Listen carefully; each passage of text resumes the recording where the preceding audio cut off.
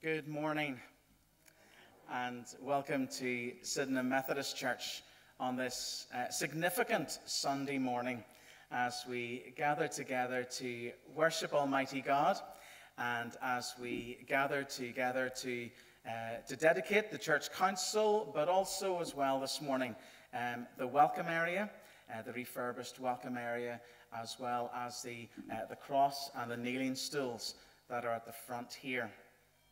Um, it's wonderful to see you all here this morning, whether you're in the building or whether you're at home watching this live or watching this later on. Uh, you're all very, very welcome. Um, we want to welcome any visitors who are with us uh, as well. And I want to uh, give a special warm welcome uh, to Francis and Dennis Sweeney. Uh, Francis is a cousin of uh, Desmond Ferguson, and we will dedicate and to the glory of God and to the memory of Desmond, the cross and the kneeling stools this morning. So thank you so much. Uh, you've traveled from Fermanagh this morning uh, to be here with us, and we are grateful uh, for your presence and how you've given the time. Uh, so thank you very much, and you're very, very welcome. As the psalmist wrote, Lord, through all the generations, you have been our home. Before the mountains were born, before you gave birth to the earth and the world, from beginning to end, you are God. So we sing together, and Jenny's going to lead us.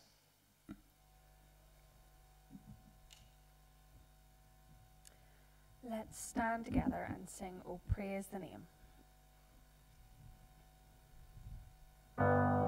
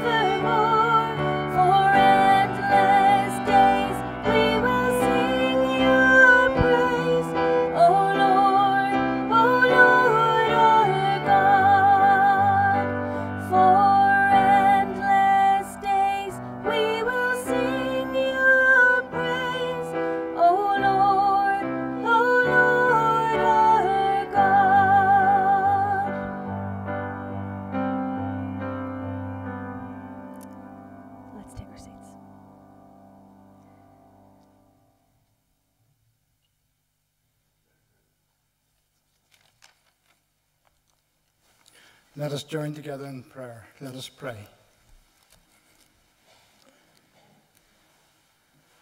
Heavenly Father, it's a privilege to gather together to worship you. You are the maker of all things good. We acknowledge your presence with us this morning. Open our minds and our hearts to receive your word. You are the creator of all things.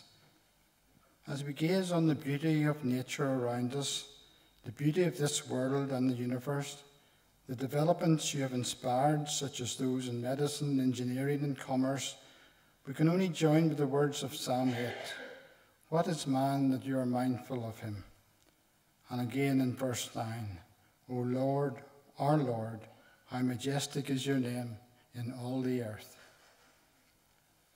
We come together as church family this morning and as members of your body, united in our desire to extend your kingdom, both in our personal life and witness, and also corporately as your gathered church in this part of your kingdom called Sydenham. Father, Son, and Holy Spirit, we rejoice today at the completion of our welcome area, which will be dedicated later. We give you thanks and praise that the work was completed in safety and that it overcame the restrictions imposed by the COVID 19 pandemic and that all the costs have been met. Thank you for the generosity we have received, and we ask your blessing on each person who supported the project and the members of the work team as well. Most of all, we thank you, Lord, for the way, many ways you have helped us during the building phase. We ask you to bless the ministry that will be enabled and enhanced by the transformation of our former vestibule into an attractive welcome area. We pray, Lord, that we will always be an open and welcoming fellowship here. We have a burden for the local community. May our minds and hearts and hands and feet be used by you to bring your presence, your love and compassion and practical help to those who may be facing difficulties or be in any kind of need. May we follow our Lord's instructions to be the salt of the earth and the light of the world.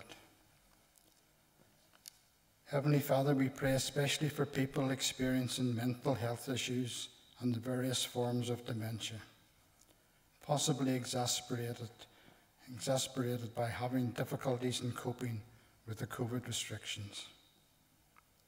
We pray for people suffering from COVID and also for those suffering from cancer.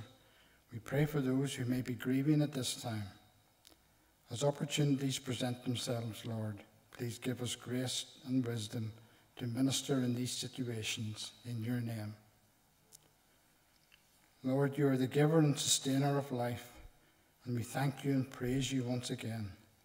Thank you for your presence with us in times of joy as well as in darker times we all experience. May we be joyful in hope and patient in affliction, in the knowledge that nothing can separate us from your love that is in Christ Jesus our Lord. These prayers are offered in the name of our Lord Jesus Christ, our mediator and friend. Amen.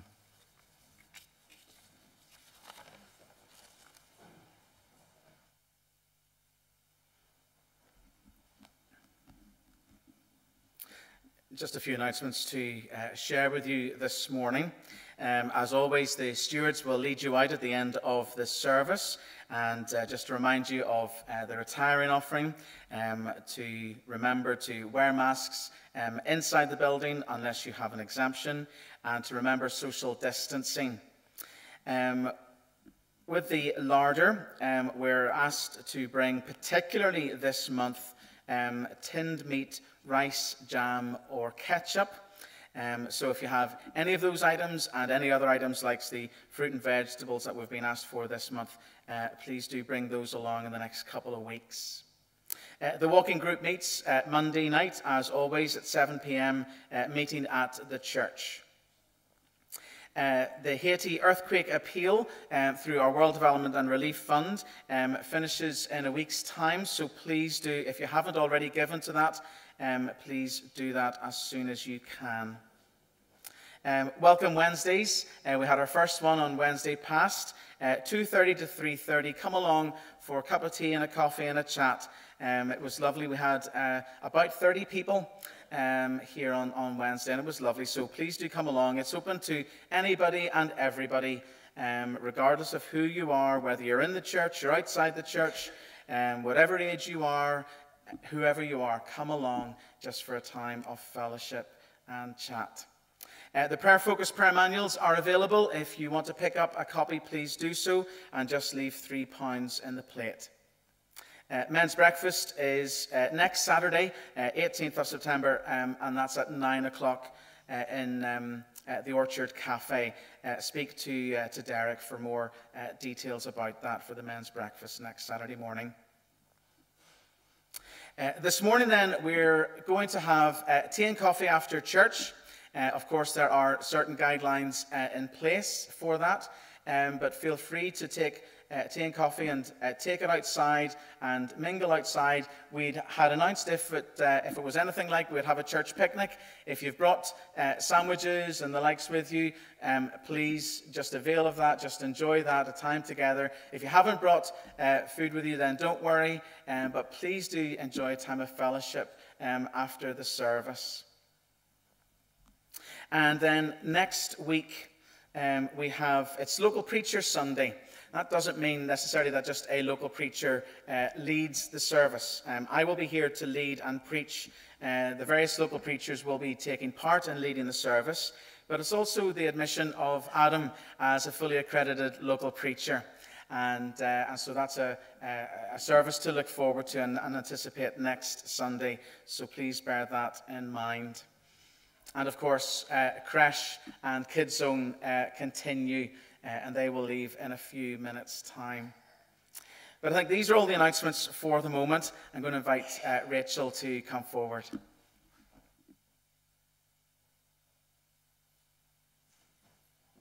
Good morning. It is lovely to be back here and to see some of the boys and girls out this morning. I know it's a bit different because we have to stay down in our seats, but I can see you from up here and it is really great to have you back. Now, to the boys and girls who are here, are you glad to be back at school? Yeah, I see one person saying yes. Okay, a couple of them, some don't look so sure. I'm sure even if you don't love school all the time, I'm not sure anybody does, you probably have some things that you like doing at school. And when I was at school, I was trying to think back to very long time ago when I was at school. And my favourite thing was to learn different languages. So I thought, I'm going to have a little quiz now. I'm going to say something in another language, and I want you to see if you can work out what language it is. Now, full disclaimer here, there may be people here who speak these languages a lot better than I do. I apologise for my pronunciation. But I'm going to have a go and just see if you can work out what language you think it is. So if I was to say, bienvenue, what language do you think I'm speaking? French. Very well done. Was that you, Harry, who got that? Well done. That one was French. What about bienvenido? Grown ups can have a go as well if you want. If you want to shout out. Spanish. Well done. Now, this one I think somebody here might speak, and I'm hoping I say it right. If I say willkommen, what language is that? German. Well done. Did I say it right? Fantastic. What about, these ones are a bit harder. What about Fáilte? Any ideas? Irish, well done. The last one's a tricky one. Bine ați venit. Any ideas what it might be? No ideas? Not even my husband, who I told the answer to beforehand, no. okay, that one was actually Romanian, okay, because I learned that one whenever I went to Romania and to Moldova to do church teams a few years ago. But those words all actually mean the same thing in all those different languages. Does anybody know what they mean? You can shout it out. Welcome. Very well done. It means welcome. And I want to teach you this morning one more way that you might know or you might not to say welcome. Because even though I'm not at school anymore, I am, but as a teacher rather than as a student, I'm still learning. And one thing I'm learning at the minute is Makaton. And some of you might know little bits of Makaton, or you might be sitting there thinking, what on earth is she talking about? But Makaton uses a type of sign language. And what I'll do is I'll move to the side in a second and I'll show you how to do the sign for welcome. And then I want everybody to have a go at it after me. So with Makaton, we say the word and we do the sign. So for welcome, it's your hands out in front of you like this. And we go, welcome. Welcome. Okay, so it's like we're telling somebody to come in. Isn't it? It's like we're beckoning somebody to come in.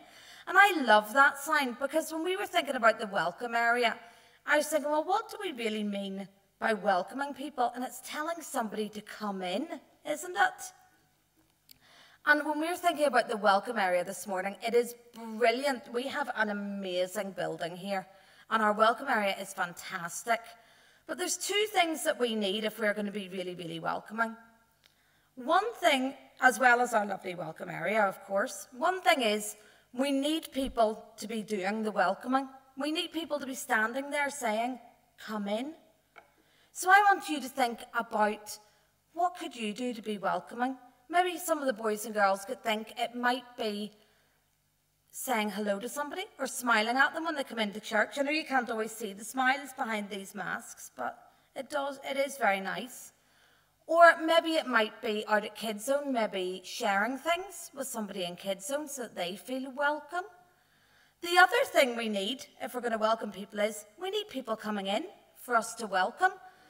And so I thought the boys and girls could maybe think about whenever different groups start up again, or things like Messy Church, is there somebody that you could maybe invite to come along who doesn't normally come to church?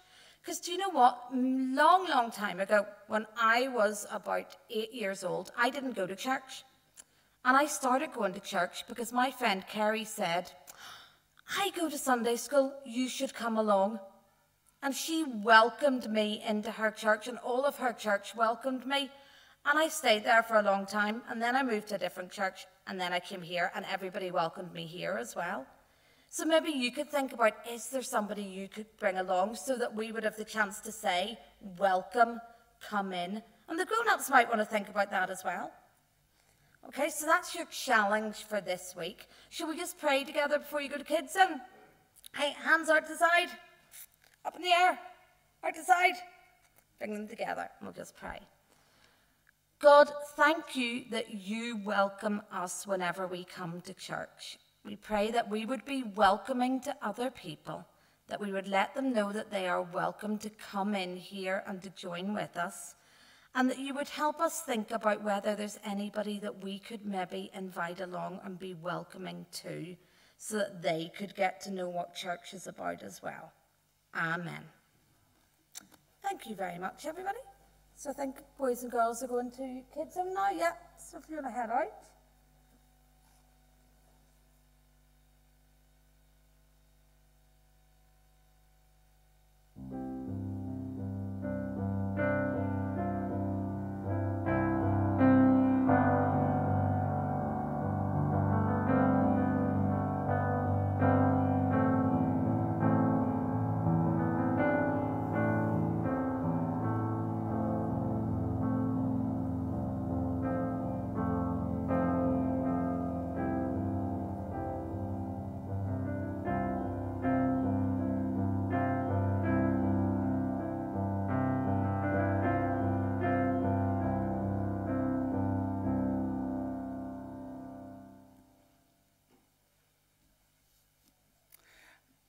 Come now to the dedication of our church council for this connectional year.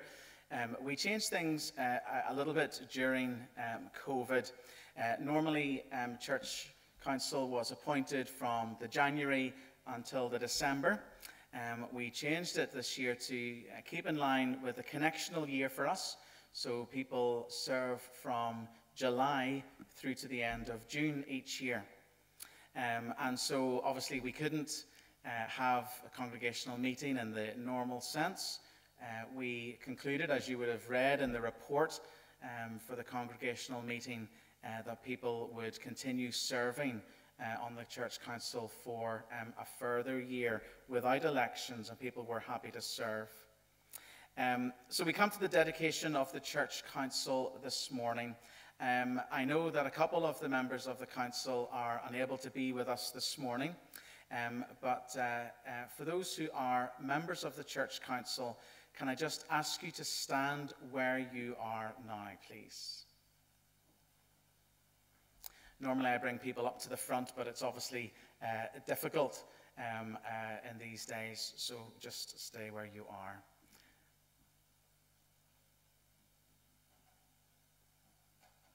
Sisters and brothers, you have been called by God and appointed by the people of God for leadership in the church. This ministry is a blessing and a serious responsibility. It recognizes your special gifts and calls you to work among us and for us. In love, we thank you for your service and challenge you to offer your best to the Lord, to this people, and to our ministry in the world. As you live in Christ, make him known in your witness and your work. So, to the members of the Church Council, do you acknowledge that you are a disciple of Jesus Christ? Will you devote yourself to the service of God in the world? Will you so live that you enable this church to be a people of love and peace?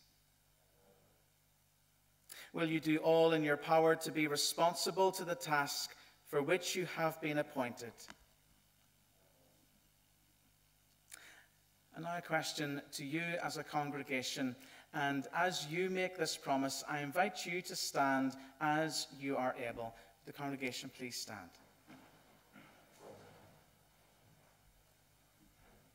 So, as a congregation, will you do all you can to assist and encourage the Church Council in the responsibilities to which they have been called, supporting them by your cooperation, your counsel, and your prayers?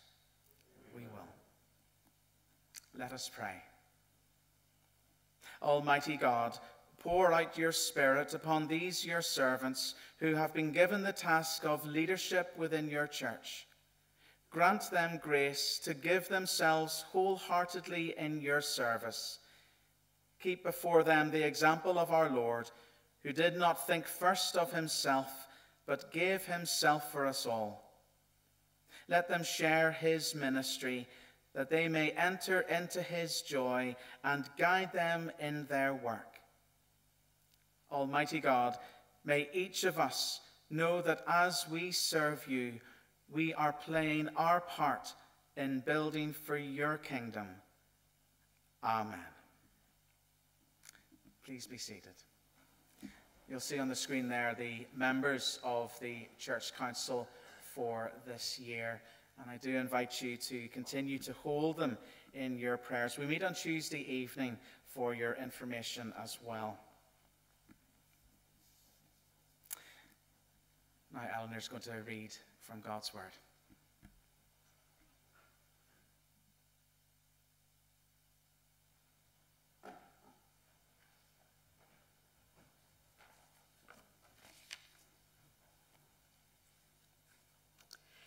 The Old Testament reading is taken from 1 Chronicles 29, beginning at verse 10.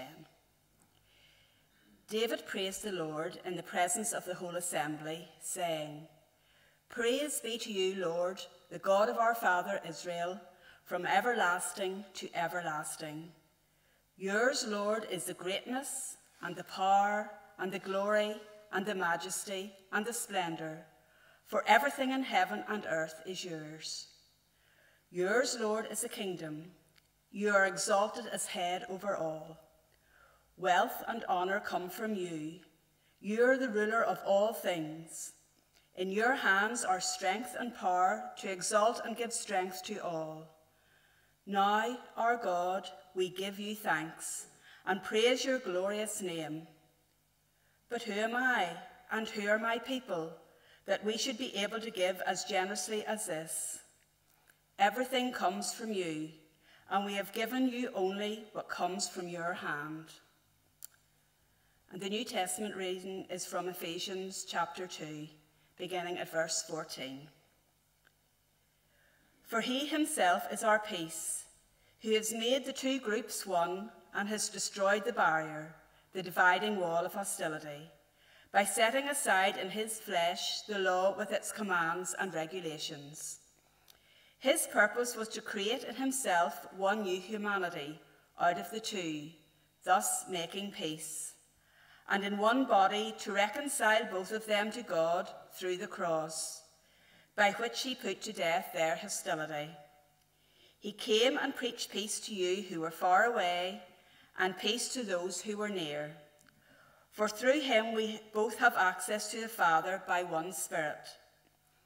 Consequently, you are no longer foreigners and strangers, but fellow citizens with God's people and also members of his household, built on the foundation of the apostles and prophets, with Christ Jesus himself as the chief cornerstone.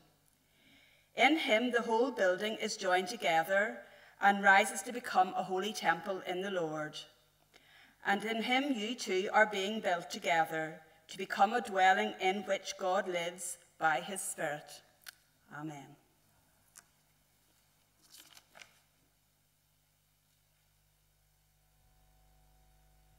Let's stand and worship together again. Jesus'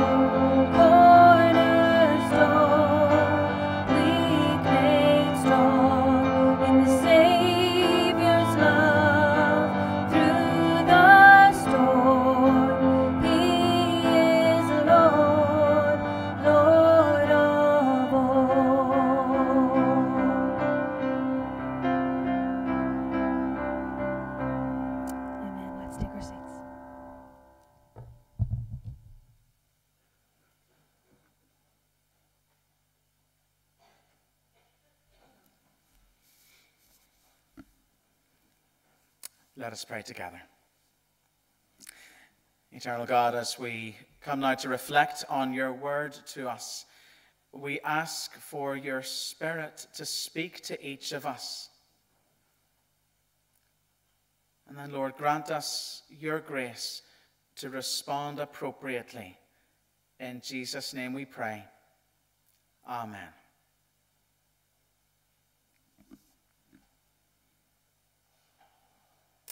As we gather together to uh, dedicate the refurbished welcome area, along with the cross and the communion kneeling stools, I want to say um, thank you to everyone who has played their part.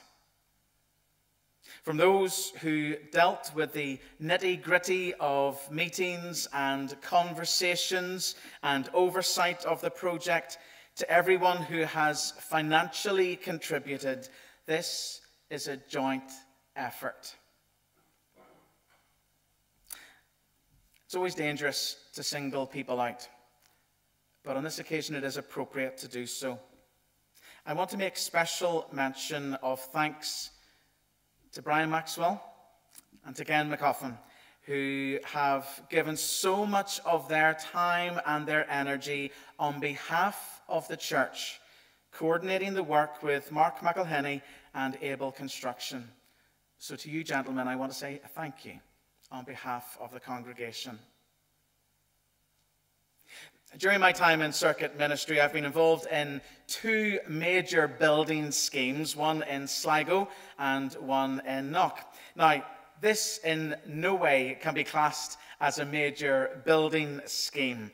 It's simply a refurbishment. But nevertheless, I want us this morning to think about the building project that is close to God's heart.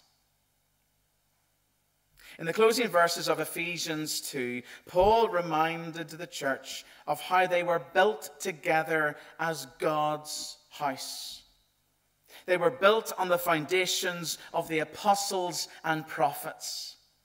And of course, the cornerstone was Jesus Christ. Jews and Gentiles alike were being carefully joined together in Christ, becoming a holy temple for the Lord where God lives by his Spirit.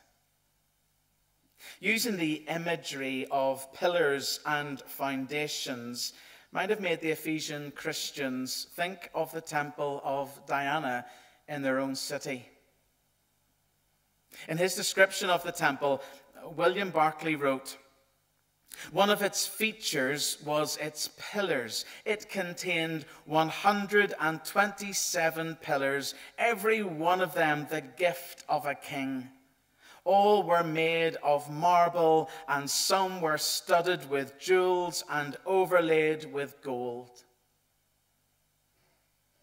People traveled from all over the world to see this amazing piece of architecture that was 420 feet long, 220 feet wide, and 60 feet high. It was the greatest source of civic pride for the people who called Ephesus their home.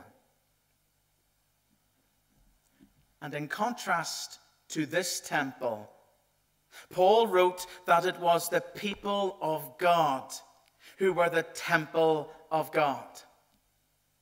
This temple of God, the church, wasn't made by human hands. It certainly wasn't and still isn't sparkling and majestic.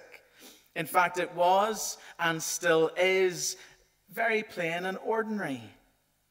Because after all, there is nothing special about us as individuals. But by God's grace, together as the church, we are the place where God resides. We are God's building project.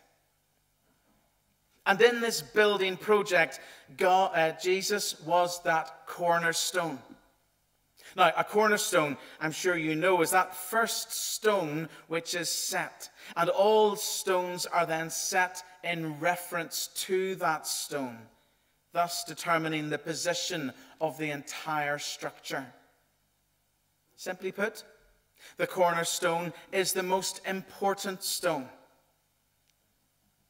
The total weight of a building rested on this particular stone, which, if removed, would collapse the whole structure.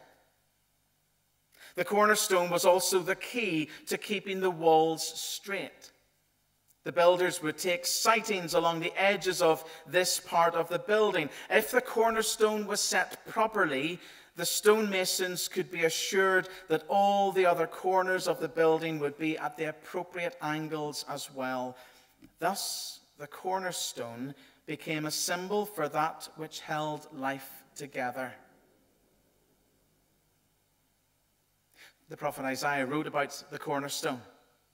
In this context, God speaks to the people of, Jerusalem, uh, of Judah and he promises to send the cornerstone who will provide the firm foundation for their lives if they will only put their trust in him.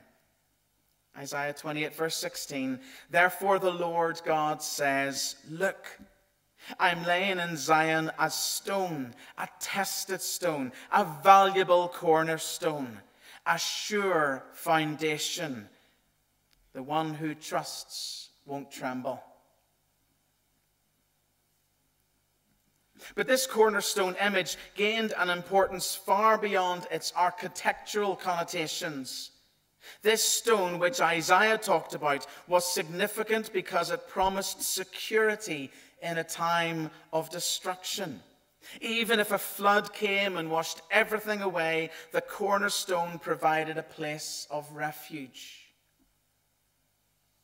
And in the person of Jesus Christ, God had sent his chief cornerstone for this building project. As Paul wrote in his letter to the Corinthians, no one can lay any other foundation besides the one that is already laid, which is Jesus Christ. Not only is this building built on Christ, the cornerstone, but the whole building exists in him as well.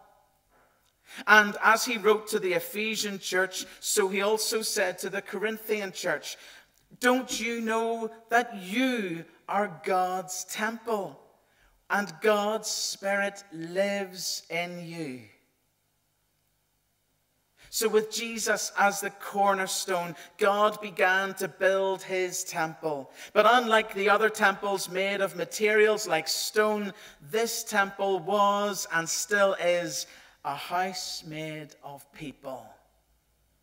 You and me. Verse 21 says, We are carefully joined together in him the verses preceding uh, these verses at the end of Ephesians 2 reminds us of the context. As the formerly two races of Jew and Gentile coming together as a new single race as God's people.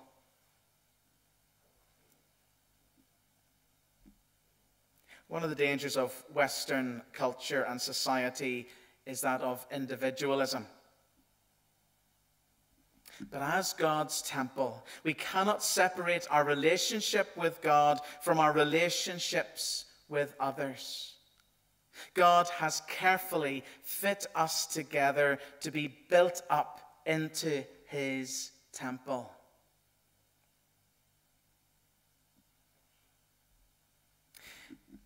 In our lifetimes, we have seen buildings destroyed. Of course, we can think of buildings destroyed in our own city by terrorists in the 70s and 80s. But yesterday, of course, was the 20th anniversary of what has become known as 9 11, the terrorist attacks in the United States. For many of us, it was one of those occasions when we can remember where we were and what we were doing. And we remember with horror as the planes flew into the twin towers of the World Trade Center in New York and how they collapsed a while later. There's been several documentaries on TV in the past week or so, and there was obviously a lot of coverage yesterday, recounting people's experiences of that day and what has happened since. Here in the interviews of those speaking at the time when it happened, they were obviously traumatized due to the attacks, with the amount of death caused, and how people continue each day to live with that pain and suffering and loss. But one thing that also came through in those interviews was their utter shock and confusion and trauma as to how these two towers, though fell as though they were made of matchsticks, these symbols of apparent greatness had fallen, bringing so much death as well as destruction. In contrast, the temple of God can never be destroyed, for it is built on Christ, the cornerstone. I began by referring to the great temple of Diana in the city of Ephesus. It's now in ruins. You can go and visit it, and people can only imagine exactly what it would have looked like. But in contrast, the church, the temple of God, is built together by God with Christ as the cornerstone, the one upon whom the whole building exists. But there's even more than that. 1 Peter 2, verse 4 and 5. You are coming to Christ, who is the living cornerstone of God's temple. He was rejected by people, but he was chosen by God for great honor. And you are living stones that God is building into his spiritual temple. Living stones. To us, stones are hard and solid, but we are called living stones. Living denotes that which is vibrant and changing. This is because God continues his work of transforming us and further building his temple. God's building project never ends until his kingdom comes in all its fullness. So, as we dedicate the refurbished welcome area, the cross, and the kneeling stools, let us remember God's building project, giving thanks to Him that He is the one who builds us together as His temple, where He lives by His Spirit. Let us pray together.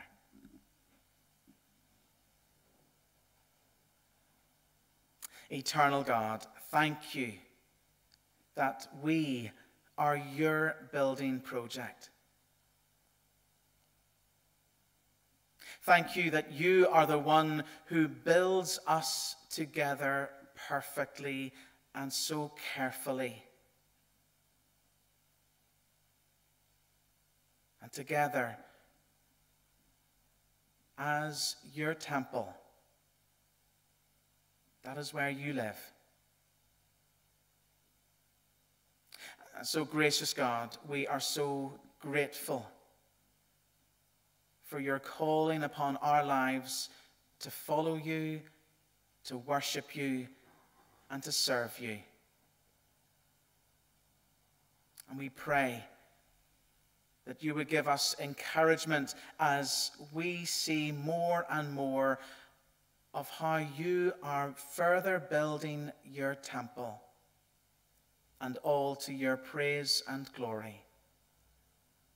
Through Christ our Lord, the cornerstone. Amen.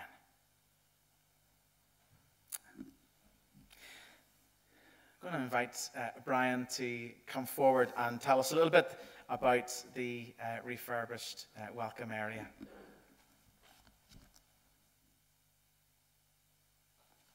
Thank you. The welcome area. This is a story of transformation. which created a bright new welcome area. And back in February, March 2020, we've got to go back a wee bit, and following a lot of congregational consultation, we awarded a contract to Mark McElhenney and his team at Able Projects for the transformation of our vestibule into an attractive welcome area. We had estimated at that time a 10 week contract timescale, but that was BC before COVID. COVID brought with it lockdowns, illnesses, difficulties in supply chains, building materials not being available when required, and many, many other difficulties. A real nightmare for building contractors and indeed for everyone involved in commerce and industry, as we well know. It was not too long into our contract until work was halted due to the first lockdown, and there were many other start stop situations. So, right at the start, I would like to congratulate Mark McElhenney and his company for all their efforts and the quality of their workmanship during these very difficult and trying conditions. It's been a long journey, but we finally got to the end of the contract phase in May of this year, and we're now in what is known as the defects period, and that will last until December. So, what, what did the works consist of? Now, as you came into church this morning, you would have walked down the bright passageway between the, the large plate glass windows. They were new. And did you notice the memorial stones repositioned and made more of a feature? That was done as part of the works as well. Then there is the folding glass doors where a stud wall used to be between the vestibule and the tailor room. And can you imagine our surprise and somewhat dismay in finding that the stud wall concealed two vertical columns. Thankfully, not 127 columns, but two was more than enough for us. And the function of these columns was to support the steel horizontal beams, which in turn support the upstairs floor. We called on the advice of a structural engineer, and the cost and time of removing these uprights and redesigning replacement ceiling beams and getting all the approvals would have been a mini project, building project on its own, and very costly. So we had to devise a way of incorporating the vertical uprights into the folding glass door design. And I hope that you think we haven't done too bad a job at that. If you haven't noticed the vertical columns, we've done a brilliant job. we installed a new fire door at the foot of the stairs. This was requested in a fire risk assessment to improve safety of escape routes from the building and contain any fire that hopefully will not break out. New lighting, including emergency lighting and ceiling tiles, were installed throughout the whole area, including the kitchen. The large video screens were installed and linked to our, linked to our sound desk and PowerPoint projector. The walls were replastered and painted, and new carpet was laid. Now, there's two major items that I've deliberately left towards the end of this story. The first is the installation of new wall mounted heaters in the welcome area and in the tailor room. The new heaters have been installed and have been used on a couple of occasions. They are not the old type of convector heater that we all knew and loved, in that someone could dash in 10 minutes before a meeting and there would be instant heat, or almost instant heat. And the group members could arrive you know, up to the last moment and still have a lot of heat. But you can't do that with these new modern heat efficient programmable wall heaters. They operate continually on a timetable which needs to be programmed in advance when heat is required. Now, this is not really satisfactory for our purposes, and discussions are ongoing with the suppliers. But we must bear in mind, however, that we are in the era of energy conservation, and building requirements may prevent us from reverting to the convector type of heater, but this is still all part of our discussions. In the meantime, we're free to use the heaters that currently exist. The second item is the glass doors into the church. I think they look well. Do you? Yes, nods, yes, good. The etchings are to identify them as glass to meet with health and safety regulations. These new doors replaced a combined wooden glass panel door, and it was at these doors that every Sunday morning you would find Desmond Ferguson standing to welcome everyone into church and to open the doors for them. Sadly, Desmond passed away before he had opportunity to view the completed welcome area. But I think and hope he would be pleased with what we have done. At this point, I would also like to join with Robin in sort of welcoming Francis and Dennis to our service this morning. You're very welcome. Francis is a cousin of Desmond's and has spent many long hours looking after him. So, as a tribute to Desmond, we asked the contractor to preserve the wood from the doors and from it to make a cross and communion kneeling stools, you see there. And these are also being dedicated this morning. Separately from our, the construction of our welcome area, but even after his passing, Desmond is having a big influence on the life of this church, as he's left us a very, an extremely generous legacy which is enabling us to appoint a family and children's worker, as well as pushing on to refurbish the welcome area kitchens and toilets. I should also mention that Desmond's legacy has enabled us to set aside £10,000 in case of some unexpected emergency expenditures required. And we also allocated a tithe of 10%, which was about £9,500, to other Christian charities and £4,000 of that has already been donated to East Belfast Mission. Now, all this doesn't happen by itself, and we're grateful to God for his direction and guidance in this project. It was very much, as Robin said, a team effort, and the Property and Finance Committee, together with Church Council, were involved in all the major decisions as the project progressed. Like Robin, I don't like to single out any particular individual, but I must also pay tribute to our former property steward, Ken McGuffin. He was a real tower of strength throughout the works, so thank you, Ken. In closing, I can tell you that the final cost of the project, including the VAT, 20%, will be close to £66,000. And all funding is in place to meet that cost. So thank you to everyone associated with this congregation who gave so generously. We had a gift day in March 2020 which realised uh, over £32,000, an excellent total, and we obtained grants to the sum of £13,500. So we are very humbled and pleased with how everyone has played their part. So thank you to each person here and those watching sort of from home. And a special word of thanks to all who supported the project with their prayers. I trust in this new welcome area will be a blessing to the ministry of this church. Thank you, Robin.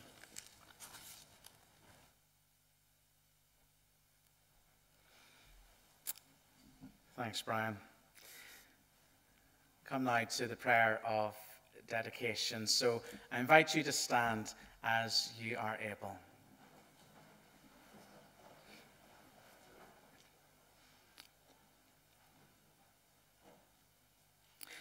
Living God, with gratitude for all that has made it possible, we dedicate our renewed welcome area to you, asking that through it you will help us wisely, generously, creatively, and lovingly to speak of Christ and serve him more effectively as we use the space for fellowship, discipleship, and mission. May all who use it know the presence and peace of your Holy Spirit. Living God, with gratitude for the legacy left to us by our dear brother Desmond Ferguson, we dedicate the cross and the communion kneeling stools to your praise and glory and in his memory. May they always be symbols of love. Your love for us as your people and the love we shared with Desmond. We dedicate to the glory of God the welcome area, the cross and kneeling stools, in the name of the Father, the Son, and the Holy Spirit. Amen. Please be seated. We continue in prayer as we pray for others. Let us pray. Loving God, we thank you that we are your building project, that you fit us together, built up as a temple where you live. We thank you for those buildings in which we live and work and worship. We pray for those who don't have a building in which to live, for those who are homeless. May they find a building for shelter. We thank you for each other and the fellowship we share, that you build us together, each of us unique with all our backgrounds and experiences. We pray for those who feel on the outside of groups, who don't enjoy healthy and loving relationships with those around them. May they know your love and acceptance. We thank you that Jesus is the foundation of our lives. We pray for those who don't have good foundations in their lives, for those who have experienced brokenness from an early age and continue to live with pain and suffering. May they know your healing and wholeness. We thank you that by your Spirit you are continuing to build your church. We pray for those who proclaim your word, for ministers, local preachers, evangelists, and mission partners. Move in the hearts and lives of many people, and in seeing people's lives transformed, may that encourage us in our faith. And finally, we hold a moment of silence to pray for ourselves and those known to us who are facing challenges in their lives.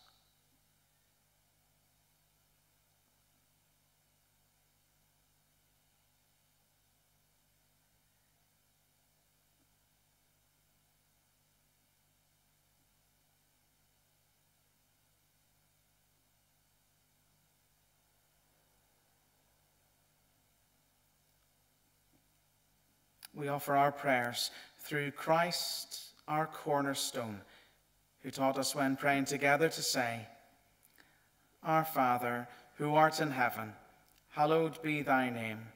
Thy kingdom come, thy will be done on earth as it is in heaven.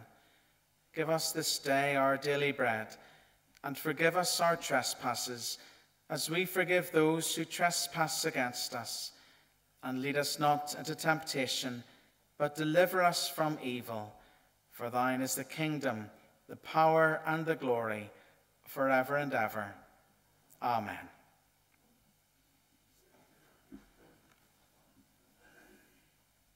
So we sing together our closing hymn, Blessed City, Heavenly Salem.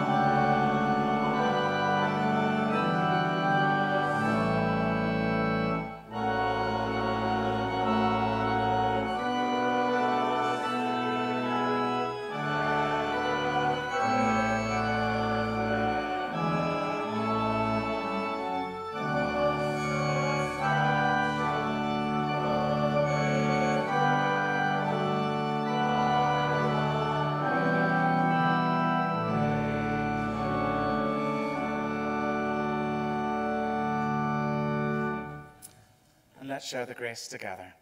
The grace of our Lord Jesus Christ, the love of God, and the fellowship of the Holy Spirit be with us all evermore. Amen.